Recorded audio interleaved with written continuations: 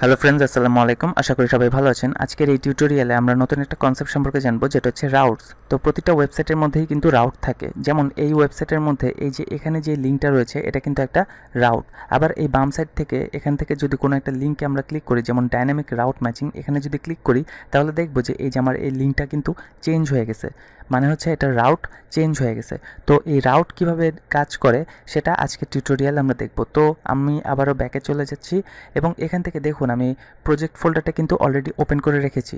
তো এই ফোল্ডারটা আমি আপনাদেরকে ভিডিওর নিচে ডেসক্রিপশন বক্সে দিয়ে দেবো। সেখান থেকে আপনারা এটা চাইলে ডাউনলোড করে ইউজ করতে পারেন। তো আপনারা যদি এটা ডাউনলোড করে ইউজ করতে চান, তাহলে অবশ্যই প্রথমে এটাকে আগে ডাউনলোড করতে হবে এবং ডাউনলোড করার পরে আপনারা যখন এই ফাইলটাকে ওপেন করবেন, করার পরে তারপরে যখন টার্মিনালে আসবেন টার্মিনালে আসার পরে প্রথমে এখান থেকে কমান্ড ইউজ করবেন হচ্ছে ইয়ার্ন ইনস্টল এরপরে যদি আপনারা এন্টার প্রেস করেন, তাহলে আপনাদের এই ফোল্ডারের মধ্যে ইয়ার্নটা ইনস্টল হয়ে যাবে। এরপরে আপনারা ইয়ার্নের কমান্ড ইউজ করতে পারবেন। আর যারা এই প্রজেক্ট ফোল্ডারটা নিজেরা ক্রিয়েট করতে চান, তাদেরকে আমি এখন এটা রিভিউ করে দিচ্ছি। আপনারা এই অনুযায়ী এটাকে সেট করে নিতে পারেন। তো এইখানে প্রথমে আমরা কি করেছি? এইখানে প্রথমে ইন্ডেক্স ডট এইচটিএমএল এ যদি আমরা দেখি, আমরা এটাকে ভিউ টগল র্যাপ করে দিচ্ছি। এখান থেকে যদি আমরা দেখি, আমরা বুটস্ট্র্যাপ প্রথমে ইনক্লুড করেছি। এবং এই যে কম্পোনেন্টস ফোল্ডার এই কম্পোনেন্টস ফোল্ডারের মধ্যে আমরা কি করেছি? কম্পোনেন্টস ফোল্ডারের মধ্যে আমরা একটা ফোল্ডার ক্রিয়েট করেছি যেটা নাম আমরা দিয়েছি হচ্ছে কাস্টমার তো কাস্টমারের ভেতরে আবার আমরা কয়েকটা কম্পোনেন্ট ক্রিয়েট করেছি কম্পোনেন্ট ফাইল এই ফোল্ডারের ভেতরে যে কাস্টমার ফোল্ডারের ভেতরে কি নিয়েছি? Customer dot Vue customer detail dot Vue customer edit dot Vue customer start dot Vue তো এইখানে যা কিছু আছে, এগুলো প্রথমে আপনারা সাজিয়ে নিতে পারেন। এবং এইটা তো ছিল একটা ফোল্ডার কম্পোনেন্টসের ভেতরে একটা ফোল্ডার এবং এই কম্পোনেন্টসের ভেতরে আমরা একটা ফাইল ক্রিয়েট করেছি, একটা কম্পোনেন্ট ফাইল, যেটা হচ্ছে হোম ডট ভিউ এবং এটা কিন্তু এই কাস্টমার ফোল্ডারের বাইরে। এটা কিন্তু কাস্টমারের ভেতরে না কাস্টমার ফোল্ডারের বাইরে। সো আমরা যদি হোম ডট ভিউতে ক্লিক করি, এখানে জাস্ট আমরা একটা হেডিং এবং একটা প্যারাগ্রাফ ইউজ করেছি। এবং এই যে অ্যাপ ডট ভিউ এখানে যা কিছু ছিল, সবই কিন্তু আমরা এখান থেকে কেটে দিয়েছি এবং এখানে আমরা এই যে বুট বুটস্ট্র্যাপের কিছু ক্লাস ইনক্লুড করেছি। ঠিক আছে? সো এগুলো আপনারা নিজেরা চাইলে করে নিতে পারেন। অথবা আপনারা যদি করতে না চান, তাহলে প্রজেক্ট ফোল্ডারটা ডাউনলোড করে নেবেন এবং সেখান থেকে এটা ওপেন করলেই এই ফাইলগুলো অটোমেটিক্যালি আপনারা দেখতে পারবেন। তো এখন আমরা কি করব? আমরা যেহেতু রাউটার ইউজ করব সো আমরা প্রথমে আবারও ভিউজেস এর এই সাইটটাতে চলে যাই। এই যে router dot vuejs dot org এই সাইটে আসলে আপনারা যদি এই যে এখানে ক্লিক করেন, এই যে ইনস্টল এখানে যদি ক্লিক করেন, তাহলে এখান থেকে গাইডলাইন দেওয়া আছে যে কীভাবে ইনস্টল করতে হয়। তো এখানে দেখুন, এখানে আপনারা কিন্তু সিডিএন এর মাধ্যমে ইনস্টল করতে পারবেন অথবা এনপিএম কমান্ডের মাধ্যমে ইনস্টল করতে পারবেন। এখানে কিন্তু ইয়ার্নের কমান্ডটা নাই। তো ইয়ার্নের কমান্ড না থাকলে কোনো সমস্যা নেই। আমরা এনপিএম এর যে কমান্ডটা রয়েছে, সেটাকে আমরা এখান থেকে কপি করে জাস্ট আমরা আমাদের ভিএস কোডের মধ্যে এখানে পেস্ট করে দিব এবং এন্টার প্রেস করলে এটা ইনস্টল হওয়া শুরু করবে। এনপিএম ইনস্টল ভিউ রাউটার এই কমান্ডটা ইউজ করলে ভিউ রাউটারটা ইনস্টল হওয়া শুরু করবে। তো এটা ইনস্টল হতে কিছুটা সময় নেবে। তো দেখুন ভিউ রাউটারটা কিন্তু আমাদের এই প্রজেক্ট ফোল্ডারের মধ্যে ইনক্লুড হয়ে গেল। এখন আমরা কি করব? এখন আমরা আমাদের এই যে মেইন ডট জেএস এই ফাইলের মধ্যে যাব এবং এইখানে ভিউ রাউটারটাকে ইম্পোর্ট করব। তো আমরা এখানে নিজেরা টাইপ করলেও পারি অথবা আমরা যদি এই সাইট থেকে দেখি যে এখানে ওরা এটা করেই রেখেছে, এই যে এই নিচের যে দুইটা লাইন আছে, এই দুইটা লাইনকে আমরা জাস্ট এখান থেকে কপি করব এবং কপি করে আমাদের এই মেইন ডট জেএস এর এখানে পেস্ট করে দিব। ঠিক আছে? সো প্রথমে আমরা কি করলাম? এটাকে ইম্পোর্ট করলাম Vue router from Vue router এবং এটাকে ইউজ করলাম। ঠিক আছে? এই যে ভিউ রাউটার তো এটাকে এটাকে আমি আপাতত সেভ দিয়ে রাখতেছি। এখন আমরা কি করব? এখন আমরা যে রাউটস ক্রিয়েট করব, আমরা নিজেদের মতো করে রাউটস ক্রিয়েট করতে পারব। সো ওই রাউটসটা ক্রিয়েট করার জন্য আমাদের আরেকটা ফাইল ক্রিয়েট করতে হবে এবং সেই ফাইলটা আমরা কোথায় ক্রিয়েট করব? সেই ফাইলটা আমরা ক্রিয়েট করব হচ্ছে এই যে সোর্স ফোল্ডারটা রয়েছে, এই সোর্স ফোল্ডারটার মধ্যে যদি আমরা রাইট বাটনে ক্লিক করি, এখান থেকে নিউ ফাইল হিসেবে ক্রিয়েট করব এবং এটার নাম আমরা দিতে পারি হচ্ছে রাউটস ডট জেএস যেহেতু এটা একটা জাভাস্ক্রিপ্ট ফাইল তো এবার আমি এন্টার প্রেস করতেছি। এখন এইখানে আমরা কি করব? এখানে আমরা একটা কনস্ট্যান্ট ভ্যারিয়েবল নেব এবং এটাকে আমরা এক্সপোর্ট করব। সো এক্সপোর্ট কনস্ট এখানে আমি নাম দিতে পারি হচ্ছে রাউটস এবং এটা কি হবে? এটা হবে হচ্ছে একটা অ্যারে তো এই অ্যারের ভেতরে আমরা কি রাখব? এই অ্যারের ভেতরে আমরা আমাদের ওয়েবসাইটের মধ্যে যতগুলো পাথ রয়েছে, সব এখানে অবজেক্ট আকারে রাখতে পারি। এক একটা অবজেক্ট হচ্ছে এক একটা পাথ। তো এটা কীভাবে করা যাবে সেটা আমরা একটু দেখি। এইখানে যদি আমরা একটা অবজেক্ট নেই, এই অবজেক্টের মধ্যে প্রথমে আমাদের দিতে হবে হচ্ছে পাথ। তো প্রথমে যদি আমরা হোম পেজের মধ্যে থাকি, তাহলে আমরা প্রথমে যেটা করব ইনভার্টেড কমার ভেতরে আমরা এই স্ল্যাশটা ইউজ করলেও পারি স্ল্যাশটা যদি ইউজ না করি, তাও সমস্যা নেই। এভাবে থাকলেও এটা হোম পেজের মধ্যেই থাকবে। তো এই পাথের মধ্যে আমরা কি দেখাতে চাই? এখানে আমরা যেই কম্পোনেন্টটা শো করাতে চাই, সেটা হচ্ছে হোম কম্পোনেন্ট সো আমরা এখানে নিব হচ্ছে কম্পোনেন্ট কমা দিয়ে কম্পোনেন্ট ইউজ করতে হবে এবং এইখানে কোলন দিয়ে আমরা যেই কম্পোনেন্টটা এখানে শো করাতে চাই, এই পাথের মধ্যে, সেটা আমাদের এখানে দিয়ে দিতে হবে। তো আমরা এখানে দিতে পারি হচ্ছে কম্প হোম তো এই কম্পোনেন্টটা কিন্তু আমাদের এইখানে ইম্পোর্ট করতে হবে, ঠিক আছে? সো আমরা যেটা করব, এই এক্সপোর্টের উপরে এখানে আমরা এটাকে ইম্পোর্ট করব। তো আমরা নাম দিব হচ্ছে কম্প হোম ফ্রম এখানে আমাকে পাথটা দেখিয়ে দিতে হবে। তো এই হোম কম্পোনেন্টটা কোথায় আছে? ডট স্ল্যাশ কম্পোনেন্টস এই ফোল্ডারের ভেতরে এবং হোম ডট ভিউ এই ডট ভিউটা দিলেও হবে, না দিলেও হবে, সমস্যা নেই। তো এইখানে যতগুলা কম্পোনেন্ট আছে, সবগুলা কম্পোনেন্ট ইউজ করে সেগুলার পাথ কিন্তু আপনি এখান থেকে ডিক্লেয়ার করে দিতে পারবেন। তো আমি এখানে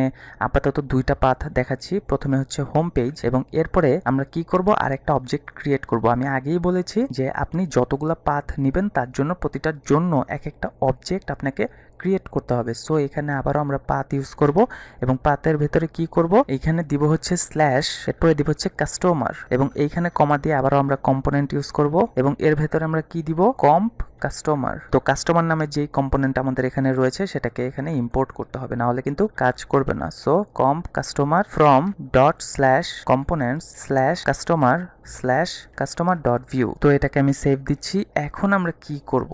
এখন এই যে এই রাউটস ডট জেএস এই ফাইলটা যে আমরা ক্রিয়েট করলাম, এটাকে আমাদের ইম্পোর্ট করতে হবে কোথায়? মেইন ডট জেএস এই ফাইলের মধ্যে। না হলে কিন্তু কাজ করবে না। সো এখানে আমরা একটা কাজ করতে পারি। এখানে আমরা দিব হচ্ছে ইম্পোর্ট এবং এইখানে আমাদের কার্লি ব্রেস ইউজ করতে হবে, যেহেতু রাউটসটা কি একটা?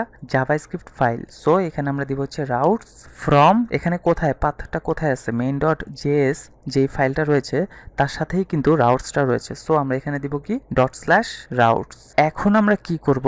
এখন এই যে এটার নিচে আমরা একটা কনস্ট্যান্ট ভ্যারিয়েবল নিতে পারি, যেখানে আমরা নাম দিব হচ্ছে রাউটার এবং এটা ইকুয়ালস টু দিব হচ্ছে নিউ ভিউ রাউটার এবং এর ভেতরে একটা অবজেক্ট নিব অবজেক্টের মধ্যে আমরা দিতে পারি হচ্ছে রাউটস কোলন রাউটস আমরা ইউজ করতে পারি বাট এখানে যেহেতু একই নাম সো এখানে জাস্ট আমরা রাউটস দিলেই কাজ করবে। এখন আমরা কি করব? এখানে যে, এই যে কনস্ট্যান্ট ভ্যারিয়েবল হিসেবে এই রাউটারটাকে আমরা নিলাম, এই রাউটারটাকে আমরা জাস্ট কপি করব কপি করে এই যে, এই রেন্ডারটা যেখানে শেষ হয়েছে, এই কমা যেখানে শেষ হয়েছে, এরপরে আমরা জাস্ট এখানে রাউটার দিয়ে দিব। তাহলে কি হবে? আমাদের ইনস্ট্যান্সের মধ্যে এই রাউটারটা আমরা ইউজ করতে পারব এখন, ঠিক আছে? তো এটাকে আমি সেভ দিচ্ছি।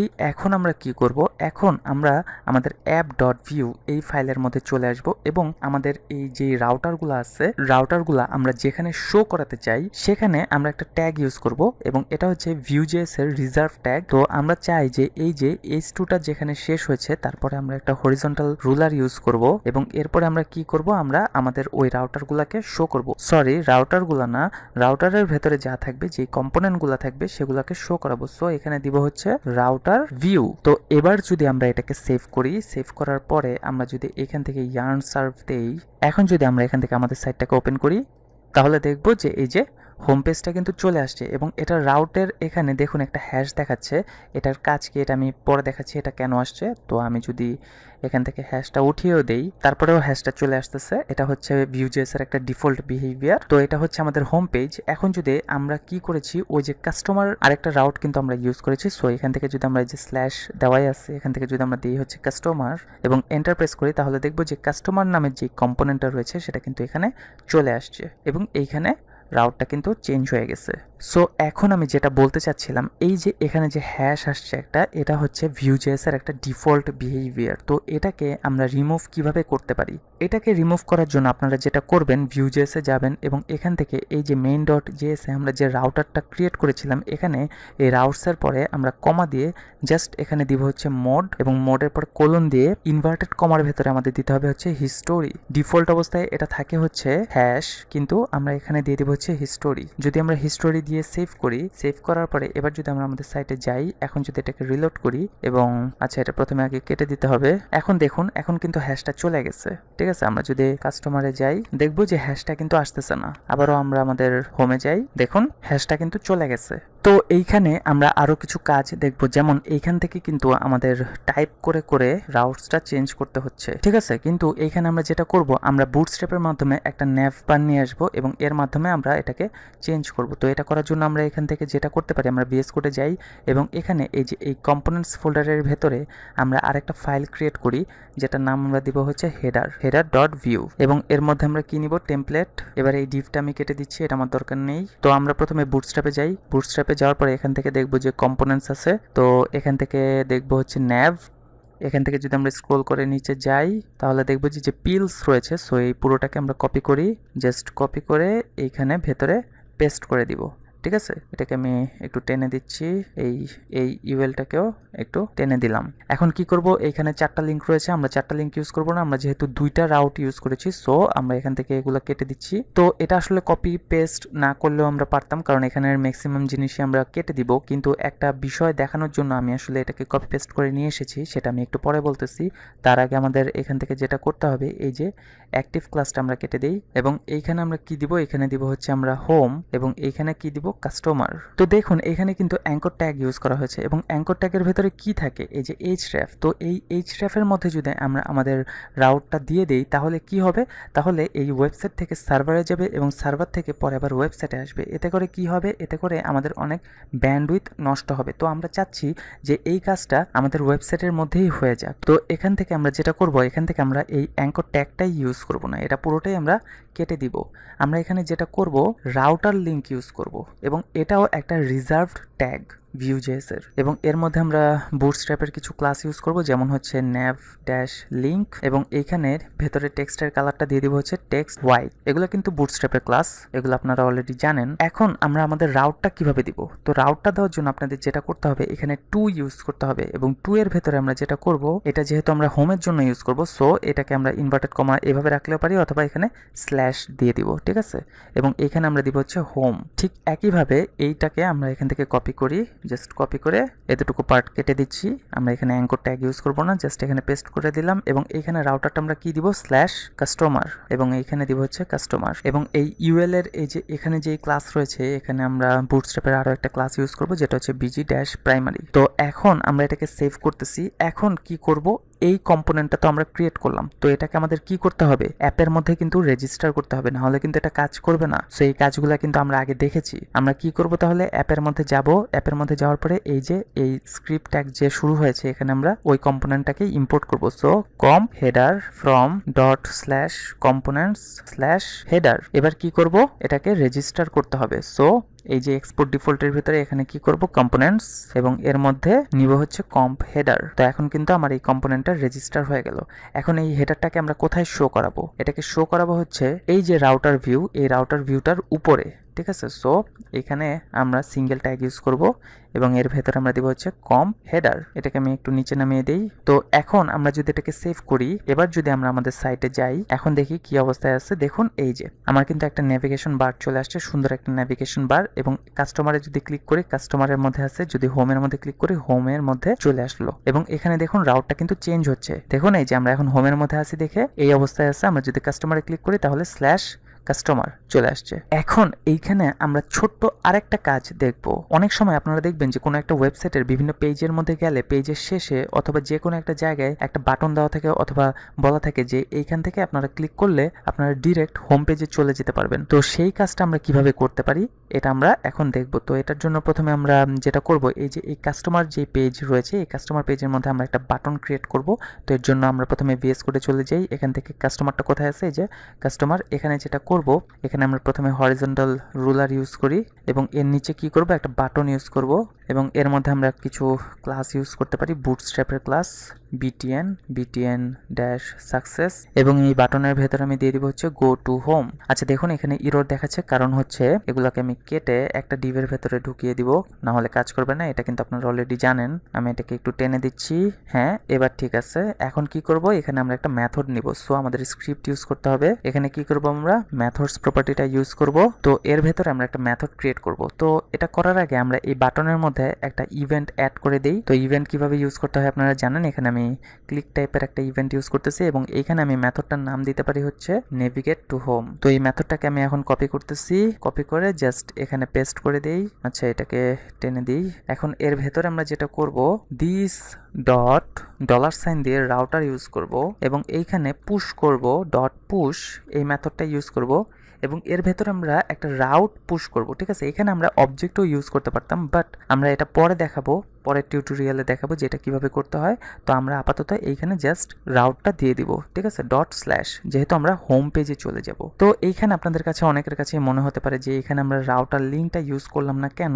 কারণ আমাদের উদ্দেশ্যই ছিল এই রাউটারটা দেখানোর, এই যে, এই ডলার সাইন দিয়ে রাউটারটা দেখানোর উদ্দেশ্য ছিল। সো আমরা যদি এখন এখানে এটাকে সেভ করি। সেভ করার পরে এবার যদি আমরা আমাদের সাইটে যাই, দেখুন অলরেডি কিন্তু বাটনটা অ্যাড হয়ে গেছে, তাও আমি রিলোড করে দিচ্ছি। তো আমি হোমে যাই home page customer customer page এবং এখানে যদি গো টু হোম এই বাটনে ক্লিক করি, দেখব যে আবারও কিন্তু হোম পেজের মধ্যে চলে আসছে এবং আমার রাউটটাও কিন্তু চেঞ্জ হয়ে গেছে। তো আজকের এই টিউটোরিয়ালটা বড় হলেও আশা করি আপনারা বুঝতে পেরেছেন জিনিসগুলো কিন্তু খুবই সিম্পল ছিল। আশা করি আপনারা বুঝতে পেরেছেন, অবশ্যই এটা বাসে প্র্যাকটিস করবেন। কারণ এটা যদি আপনারা কোড করে প্র্যাকটিস না করেন, তাহলে কিন্তু বুঝতে পারবেন না বিষয়গুলো। ধন্যবাদ।